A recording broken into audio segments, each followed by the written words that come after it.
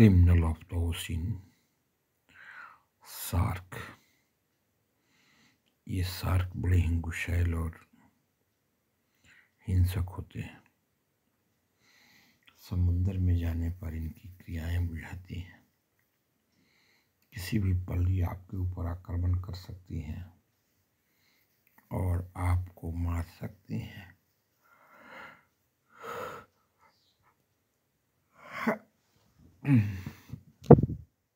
इस सार को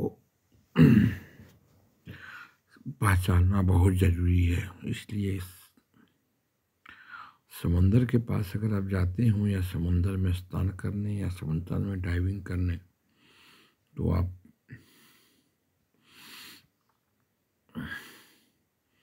कुछ सार्क से अलर्ट रहना पड़ेगा। तभी आप समंदर का आनंद ले सकते हैं। वरना ये सार्क। किसी भी पल आक्रमण करके आपको मार सकती है।